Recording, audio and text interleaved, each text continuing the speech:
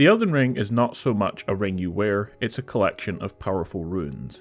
Each rune represents different aspects of life, death, space, and time, and when you put all of these runes together, they form the Elden Ring, which gives control and immense power over the entire world of the Lands Between, the world in which the Elden Ring game is set. The Elden Ring was created by an outer god called the Greater Will to control the Lands Between. However, the Greater Will is not the only outer god in the Elden Ring universe. There is the Frenzied Flame God, the Dark Moon God, God of Rot, the Formless Mother, and the Death God related to Deathbirds, but there's also potential other gods such as the Destined Death God, Giants God, and Dragon God. Each of these gods has their own idea and wills to exert, and it seems like each of the outer gods wants to control the lands between. But it's the greater will outer god who in the game has control, and he uses the Elden Ring to exert his power and take control of the world. But it didn't go according to plan as we see later in the video, but here is how the greater will gained that control.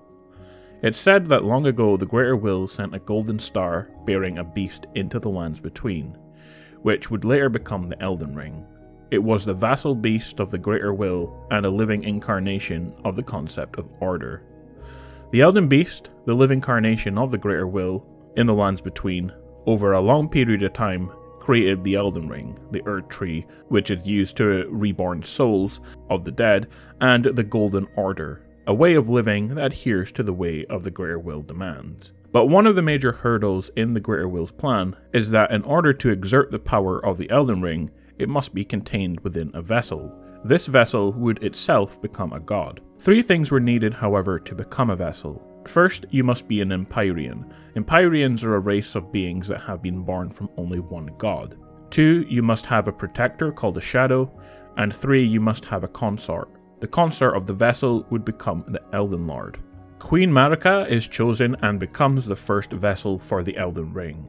She was an Empyrean, she had a shadow protector who is Maliketh the Blackblade, and she chose a consort when she wed Hoarah chieftain of the Badlands, who took up the title of Godfrey, the first Elden Lord. This is where the timeline of events begins with Marika as the Elden Ring's vessel. She starts to gain control of the lands between with her power, with Godfrey at her side upholding the ways of the Golden Order.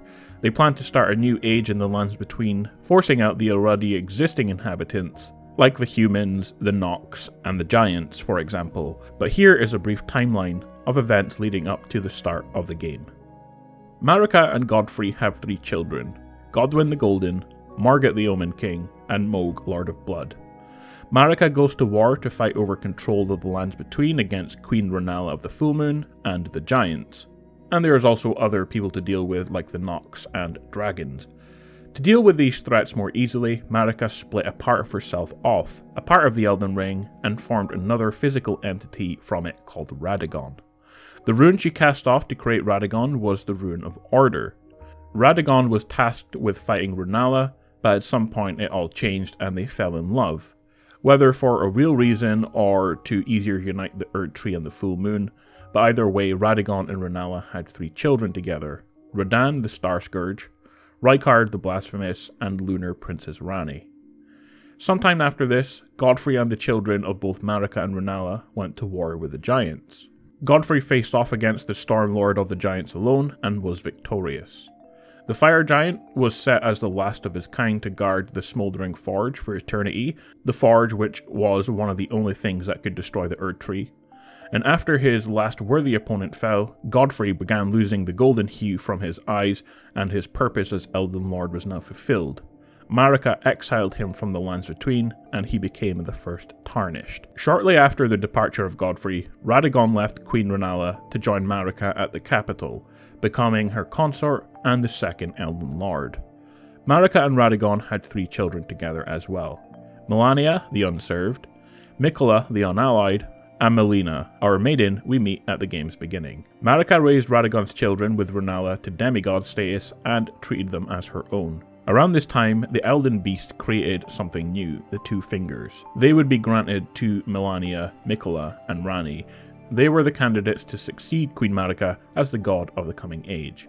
However, Ranni had other plans than to gracefully accept the two fingers. she stole a fragment of the Rune of Death, guarded by Maliketh at the crumbling Farum Azula, and Ranni used this fragment to forge god-slaying black knives. She then provided those knives to assassins. During the Night of the Black Knives, Godwyn the Golden and the Lunar Princess Ranni were both killed. Marika, then becoming disillusioned by the Greater Will's plans for many reasons, had had enough and she decided to shatter the Elden Ring. Marika was imprisoned within the Erd Tree for this, along with Radagon and the remains of the Elden Ring. The shattered fragments of the Elden Ring were claimed by Marika's offspring, the demigods. The taint of their newfound strength triggered a war for power, in which no lord arose, but did result in the Greater Will's power becoming very diminished, as the Elden Ring was still in pieces. During the War of the Shattering, lots of major events happened. Radahn stopped the movement of the stars with his gravity powers. Rykard committed blasphemy and fed himself to a snake. Malenia fought Radahn to a standstill, spreading rot all over Caelid. Miquella went off to create the Haligtree, a version of the Erd Tree without the influence of the Greater Will. Mohg kidnapped Miquella. Godrick and Morgott weren't up to much, but Ranni was plotting to undo Radahn's Starfreeze so she could summon more outer gods.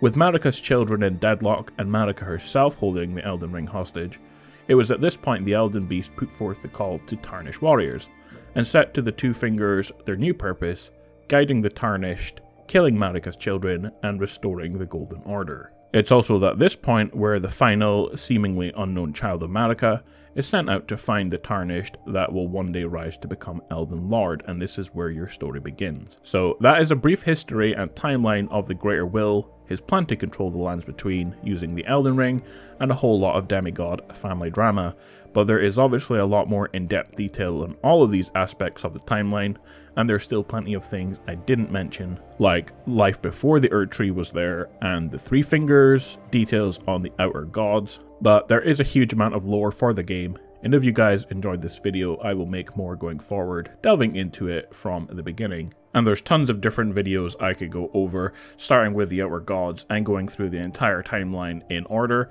and going into more depth on different things, including all of the demigods, all of the different races, all of the different factions, things like the Carian royal family, Academy of Raya Lucaria, and covering things that are secret like who is Saint Trinia, and also going over some of the game's cut content, which will help you better understand some of the lore as it joins a lot of the pieces together.